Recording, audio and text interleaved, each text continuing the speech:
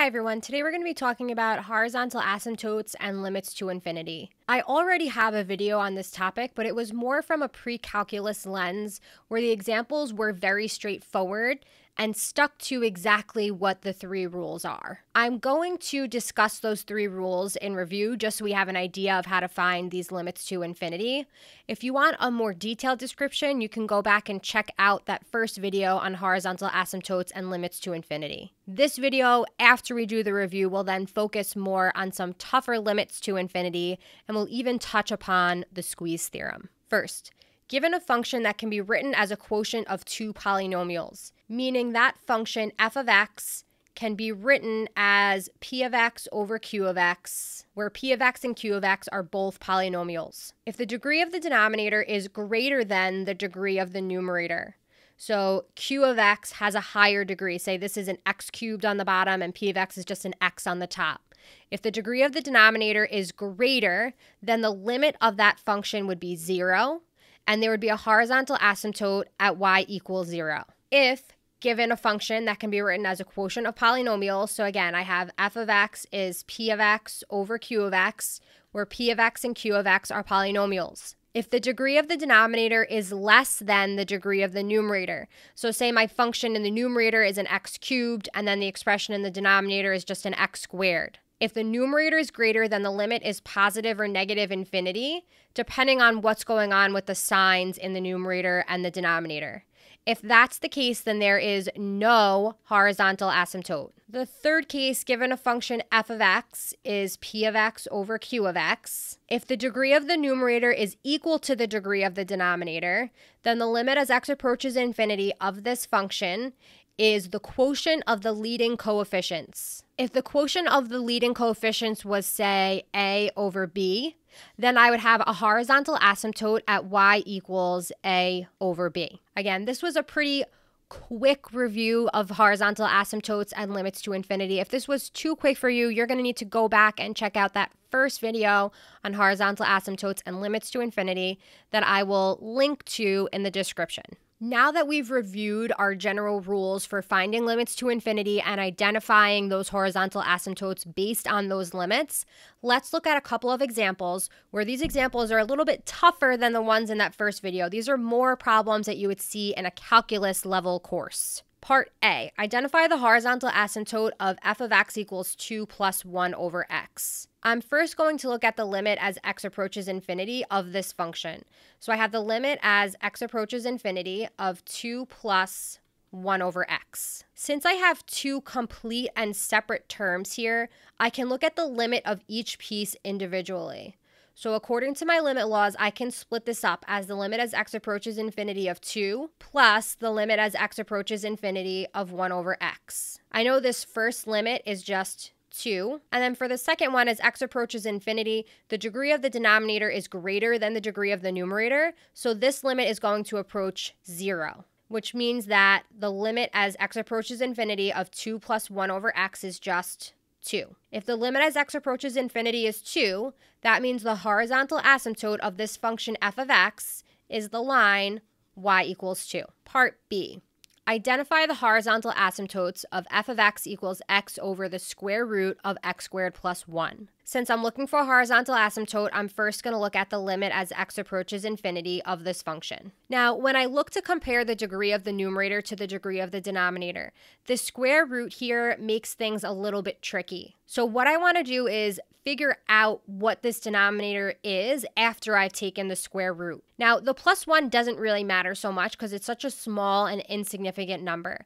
So I'm really focusing on just the square root of x squared in the denominator. So I'm going to look at this as the limit as x approaches infinity of x over the square root of x squared. I know that the square root of x squared is just x. So I can rewrite this as the limit as x approaches infinity of x over x, which is just 1. Since the limit as x approaches infinity of f of x is 1, I have a horizontal asymptote at y equals 1. I also need to check the limit as x approaches negative infinity. I have the same thing, x over the square root of x squared plus 1. And the same idea happens. I can kind of just ignore this plus 1, and I end up with the limit as x approaches negative infinity of x over x.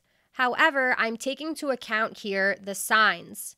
Since x is approaching negative infinity, the numerator is going to be negative here. And if I look back at the beginning of this function, I was squaring a negative number, which means that no matter what, this denominator is going to be positive. So since I have negative over positive, this is going to be negative 1, which means I also have a horizontal asymptote in this case at y equals negative 1. In that first example, I didn't need to check the limit as x approaches negative infinity of the 2 plus 1 over x, because even when x was approaching negative infinity, this first piece, the limit as x approaches negative infinity of 2 was still 2, and the limit as x approaches negative infinity of 1 over x was still 0. So I still got 2 when I was looking at the limit as x approaches negative infinity. So in that first case, A, my only horizontal asymptote was y equals 2. However, here, since I get two different answers for x approaching positive infinity and x approaching negative infinity, I have two separate horizontal asymptotes, y equals 1 and y equals negative 1. Part C. Find the limit as x approaches infinity of sine x over x. In order to find this limit, we're going to use something called the squeeze theorem. The squeeze theorem says if h of x is less than or equal to f of x is less than or equal to g of x for all x in an open interval containing c, except possibly at c itself, and if the limit as x approaches c of h of x equals L equals the limit as x approaches c of g of x, then the limit as x approaches c of f of x exists and is equal to L. That's a lot of words. Essentially, what they're saying is if you can use the function that you have and kind of sandwich it between two other functions that you know, or even two numbers, and then you can evaluate the limit of each of those functions on the outer pieces of this inequality, then the limit of f of x has to be what these two limits are equal to. Let's look at this example to see how we can apply the squeeze theorem. I'm first going to consider just the function sine x. I know that the function sine of x has a range of negative 1 to 1